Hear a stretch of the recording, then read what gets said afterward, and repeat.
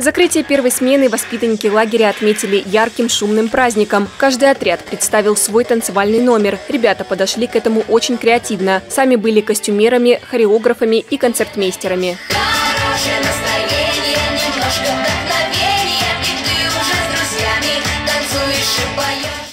Лагерь Дома творчества – самый популярный среди детей Десногорска. Это все благодаря слаженной работе педагогов и воспитателей и грамотной организации досуга детей. На протяжении всего месяца ребят развлекали старшеклассники. Они были вожатыми. Лучшими вожатыми в первой смене лагеря признаны Екатерина Манюкова и Никита Симоненков. Сообщение с детьми – это что-то волшебное, во-первых. Потому что они могут дать такую энергию, которую, я считаю, не может дать ни один взрослый человек. Потому что она у них более чище. Я познакомилась с многими друзьями. Мне, конечно же, грустно то, что, ну, ничего страшного, в следующем году вернусь. Веселые дискотеки, как были праздники веселые. Как мы бегали, мы бегали туда-сюда, туда-сюда. У нас было задание. Мне больше всего понравилось то, что мы всегда куда-то ходим, никогда не сидим в отряде. Тут интересно, всегда мероприятия какие-то, мы всегда куда-то ходим.